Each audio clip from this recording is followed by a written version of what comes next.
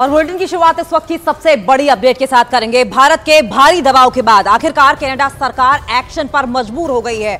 आपको बताएँ कि खालिस्तान समर्थकों पर एक्शन की शुरुआत कर दी गई है। कनाडा प्रशासन ने खालिस्तानियों को बैनर हटाने को कहा है। बताया ये गया है कि कनाडा के ब्रिटिश कोलंबिया प्रांत के प्रमुख इलाके से उन होर्डिंग्स को हटाने के लिए कहा गया, जो कनाडा यूएस सीमा के पास लगाई गई थी। आपको बताएँ कि लगातार भारत की ओर से रिएक्शन मिल रहा था क्योंकि एक्शन के तौर पर जब ट्रूडो ने इंडियन रिप्रेजेंटेटिव को हटाया था और गंभीर आरोप लगाए थे भारत पर, जो कि बेबुनियाद साबित हुए, क्योंकि ट्रूडो के पास किसी तरह के कोई सबूत नहीं थे। और उसके बाद भारत के भारी दबाव के बाद आखिरकार कनाडा सरकार एक्शन पर मज़बूत हो गई है और आखिरकार खालिस्तानी समर्थकों पर एक्शन शुरू कर दिया गया है। कनाडा प्रशासन ने खालिस्तानियों को बैनर हटाने के लिए कहा है और इसी खबर पर और ज़्यादा जानकारी के हम रुक करेंगे हमारे सहयोगी अमित पांडे भी जुड़ गए हैं। अमित, ये तो महज शुरुआत भर है, अभी बदलाव और देखना बाकी है।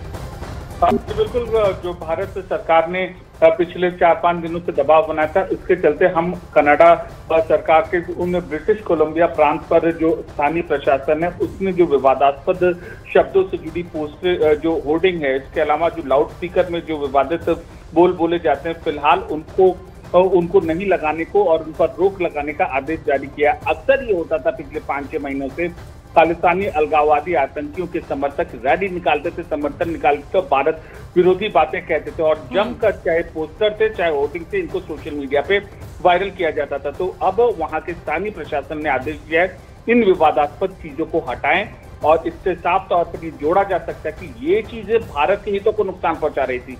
और अब भारत के हितों पर जो जो आवाज़ उठाई है भारत ने तो कनाडा के प्रशासन के कान पर अब कुछ न कुछ जूझ ज़रूर रहेंगी है।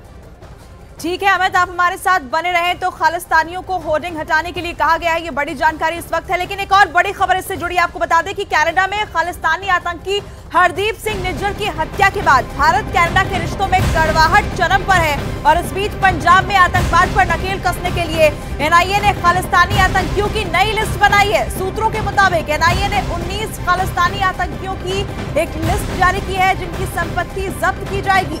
UK America Canada Dubai Pakistan समेत दूसरे देशों में रह रहे भगोड़े खालिस्तानियों की संपत्ति भारत में जब्त होगी। इन आतंकियों पर आरोप है कि वो विदेश में बैठ बैठक कर भारत के खिलाफ एंटी इंडिया प्रोपेगेंडा चला रहे हमारे सहयोगी अमित लगातार हमारे साथ बने हैं। अमित, आतंकियों पर एक्शन लिस्ट तैयार है। आगे क्या होने वाला है?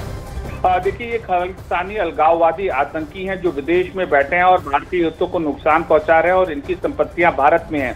इससे पहले कल गुरपतवंत सिंह पन्नू की संपत्ति है।